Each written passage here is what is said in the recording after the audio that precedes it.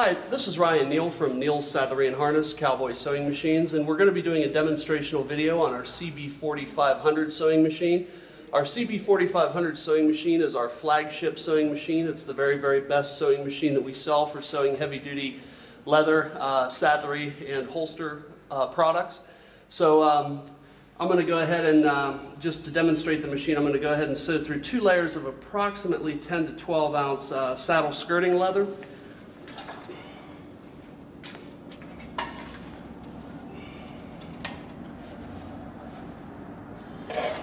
And you can see that we have a uh, electronic DC servo motor coupled to our uh, gear reducer drive unit. And what that does is it, it gives you the very, very best in terms of punching power, as well as the ability to regulate the speed of the machine.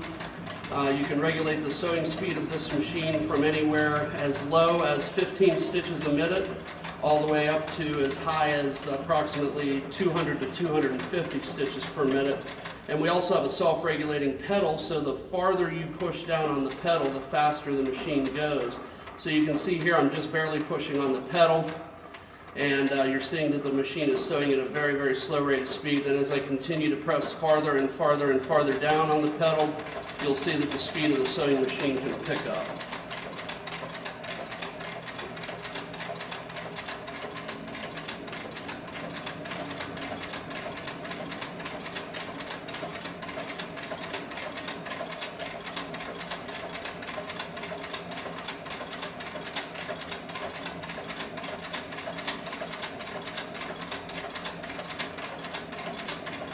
Okay, now I'm going to sew in reverse with the sewing machine so you can get an idea of what it looks like uh, for a reverse stitch. One of the hallmark features of the 4500 is its ability to match each reverse stitch, uh, stitch for stitch, hole for hole, so that uh, every, every hole matches. Your forward stitching and your reverse stitching look almost identical. So I'm going to show you a piece uh, that we had just sewn on this machine. You can see that the forward stitch and the reverse stitch match each, each uh, other perfectly. And you can see how tight, nice, and even the stitching is all the way around the project. Um, again, the, the triple feed mechanism on the CB4500 allows it to, to sew perfectly equal stitches, stitch after stitch. It allows it to climb over multiple layers of material. Um, the triple feed meaning that it has a compound feed um, design which would be composed of a uh, needle feed, a feed dog, and also a walking presser foot. And this is essentially four-wheel drive for your sewing machine. So now we're going to move on to um, the extreme level of capability for the 4500 and we're going to be sewing through four layers of approximately 12 ounce to 14 ounce saddle skirting leather. And of course, for those of you that have experience in the, in the leather field, you know that this is about as bad as it can get as far as any type of leather sewing application, saddle skirting leather being very, very difficult to sew to begin with. And we've got four layers of this very, very heavy saddle skirting leather.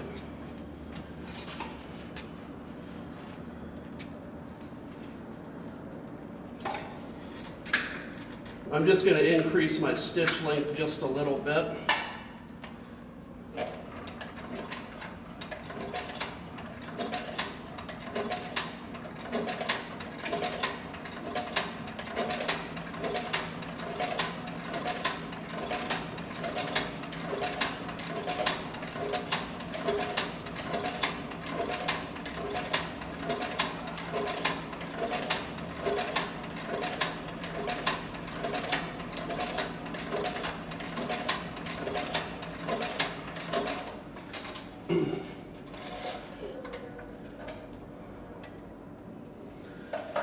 And so you can see now how perfect the stitching is through four layers, again, of approximately 12 to 14 ounce saddle skirting leather. The stitching on the back side of the leather is also very, very even as well. And if, you, if we were to take these four layers of leather and we were to try to bend them, you can see that this is basically, uh, the stitches are so tight that it's basically like a board, which is exactly what you're looking for when you're sewing heavy duty leather projects like this. So we've seen um, as heavy as what the machine is capable of sewing. So now I'm going to give you an idea about uh, how light the machine can go.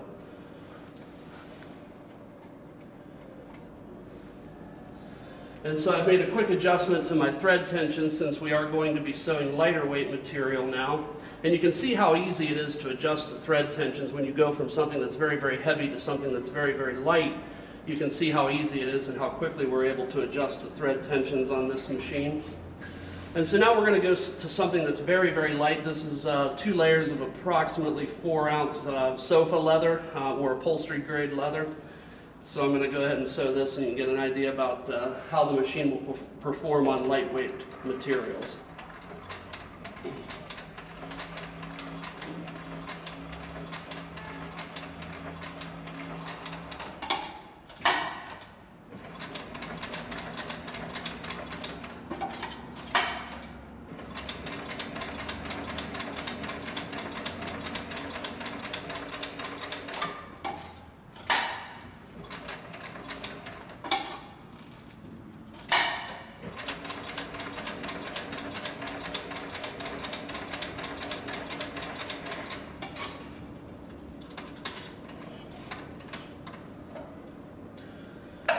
And so again, what we have here are two layers of approximately four ounce upholstery weight leather. And again, you can see that the stitches are very, very even. Um, the knots are not pulled to the top of the material like what you do see a lot with some very, very heavyweight sewing machines when you're sewing through lightweight materials.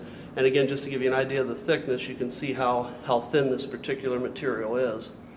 So now um, I'd like to talk a little bit about some of the accessories and attachments that are available for the machine. So with each 4500 that we sell, uh, we um, include a material guide with this machine. And the material guide mounts to the right of the needle plate and it gives you the option to set, uh, for instance, a fence just like what you would do on a table saw so you can sew perfectly equidistant edges around the, uh, the periphery of whatever it is that you're sewing. These work really, really nice with uh, holsters and knife sheaths. They also work very, very good with cup coasters and they work good, for instance, on leather belts. Uh, so again, it's a, it's a real advantage to have that type of uh, set, that type of system when you're trying to sew perfectly equidistant from the edge of something. In addition to that, we also have our left toe presser foot, and it works very, very nice in conjunction with the material guide because the right toe, as you can see on the presser foot, is missing. So you can bring the material guide all the way into the extreme right-hand side of the uh, center presser foot. And so that lets you uh, get into really, really tight places very, very easily. In addition to that, we also have the um, right toe presser foot, which mounts immediately to the, so the uh, outside toe mounts immediately to the right of the inside presser foot. And this works really, really well when you're sewing materials that are actually going to be on the inside of the arm because then you can, put, you can butt the edge right up against the inside presser foot. In addition to that, we also have our piping, cording, welting foot. And if you look very, very closely, you'll be able to see that there's a groove cut in the bottom of the center foot, which works well for sewing piping, cording, and welting. In addition to that, we also have our fabric or padded material foot. And you can see on the bottom of the fabric padded material foot that there are teeth on the bottom of the presser foot and this works good when you're sewing fabric, saddle fleece, or if you're sewing canvases. Uh, sometimes for nylon webbing it works very well also.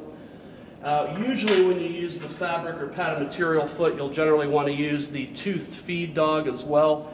And the toothed feed dog has teeth or serrations embedded into the surface of the feed dog. And so uh, it, it allows you to grip the material much better. We also have a full array of needle plates for the sewing machine, this being our flat slotted needle plate. And there are certain advantages for using the flat slotted needle plate when you're sewing, uh, particularly up against the edge of something. So the flat slotted needle plate mounts in the place of the needle plate that's on the machine. And so essentially uh, you remove the needle plate as well as the feed dog on the machine and the flat slotted needle plate mounts in its place. In addition to that we have the stirrup needle plate which works good for sewing leather-covered stirrups. And finally, we have our holster needle plate, which works very, very well if you're uh, doing knife sheaths and gun holsters. And the last attachment that we have for this sewing machine is our flatbed tabletop attachment. And you can see that this is a high quality plywood top with a laminate over top of it, rubber edge the entire way around the flatbed top so you don't have to worry about cutting up corners or nicking corners when you're installing it on the machine. And basically the flatbed tabletop attachment mounts over the arm of the sewing machine and it renders it into a flatbed, so or at least as close as, as you can get to a flatbed with a cylinder arm sewing machine. And this is ideal if you're doing things like chaps or chinks, or if you're doing uh, certain applications with large saddle skirts. Also, if you're doing horse blankets, having the flatbed tabletop attachment is a major advantage. So uh, this is a, a brief introductory video to our CB4500 series sewing machines showcasing some of the features as well as the attachments that are available. If you have any additional questions or you would like to purchase a machine, please feel free to contact me, Ryan Neal, at Cowboy Sewing Machines, or contact one of our sewing machine dealers. Again, this is Ryan Neal from Cowboy Sewing Machines, Neal's Saddlery and Harness, and I thank you for your time today.